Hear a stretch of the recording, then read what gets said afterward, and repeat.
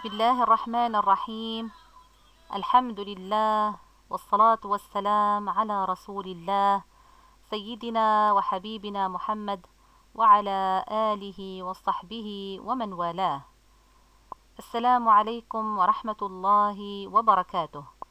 صغاري أحبابي مرحبا بكم في حصة جديدة من حصص دروس مادة التربية الإسلامية. درسنا اليوم في مدخل الاستجابة وعنوانه أذكر الله أدعو الله في صلاتي. ننطلق صغاري من آيات بينات من سورة الإنسان. تابعوا معي حفظكم الله. أعوذ بالله من الشيطان الرجيم. واذكر اسم ربك بكرة وأصيلا.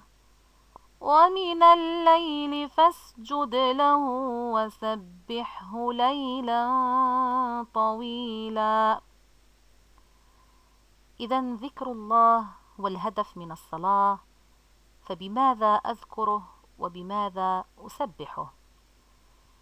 إن الله تعالى صغاري في هذه الآيات يدعو نبيه صلى الله عليه وسلم ليذكره في الصباح والمساء ويسجد له في الصلاة ويسبحه في الليل ويسبحه في الليل. إذا فذكر الله كما جاء هو الهدف من الصلاة التي هي عماد الدين والركن الثاني للإسلام. شرعها الله سبحانه بشروطها وفرائضها لدوام ذكره في كل حال خلال فترات النهار والليل. وذكره سبحانه وتعالى يكون باستحضار الله في القلب والقول فهو ذكر بالقلب حيث التفكر في عظمة الله وخلقه وذكر باللسان الذي يعبر عن تذكر الله وفضله على العباد. إذا فالصلاة صغاري محل لذكر الله في كل أفعال الصلاة. فذكر الله بالقيام يكون بتكبيرة الإحرام الله أكبر ودعاء الاستفتاح وبقراءة الفاتحة وما تيسر من القرآن. والقعود يكون بين السجدتين حيث يدعو المسلم ربه بالمغفرة وفي ختام الصلاة حيث التشهد والصلاة على النبي. وذكر الله بالركوع يكون بالتسبيح والتعظيم كما قال النبي صلى الله عليه وسلم فأما الركوع فعظموا فيه الرب عز وجل حيث نقول سبحان ربي العظيم سبحان ربي العظيم سبحان ربي العظيم ثم ذكر بالسجود كذلك يكون بالتسبيح والدعاء سبحان ربي الأعلى سبحان ربي الأعلى سبحان ربي الأعلى.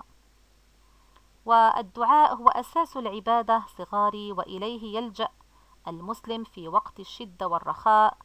والرسول صلى الله عليه وسلم علمنا في حديثه أن نكثر من الدعاء في السجود حيث قال أقرب ما يكون العبد من ربه عز وجل وهو ساجد فأكثر الدعاء. فلذلك صغاري علينا أن نستغل السجود ونلح على الله في الدعاء قصد القبول والعطاء. قال الحبيب صلى الله عليه وسلم صلوا كما رأيتموني أصلي فقدوتنا وأسوتنا الحبيب عليه الصلاة والسلام في صلواتنا وأذكارنا التي تعتبر الغذاء لقلوبنا والصلة بيننا وبين الله وهي راحة لأجسامنا وطمأنينة لقلوبنا. والرسول صلى الله عليه وسلم كان يشتاق كثيرا للصلاة ويتلهف لوقتها ويقول لبلال بن رباح أول مؤذن في الإسلام أرحنا بها يا بلال أرحنا بها يا بلال. فهي راحة لأن فيها أفضل الذكر وهو القرآن وكذلك الدعاء والتكبير والتسبيح والتواضع لله والتعظيم. لذلك علينا صغاري أن نحافظ على صلواتنا في أوقاتها وبالكيفية التي علمها لنا رسول الله صلى الله عليه وسلم لأننا سنحاسب عليها. فمن صلحت صلاته صلحت باقي أعماله. والله تعالى أثنى على عباده الذاكرين وقال أعوذ بالله من الشيطان الرجيم. الذين يذكرون الله قياما وقعودا وعلى جنوبهم.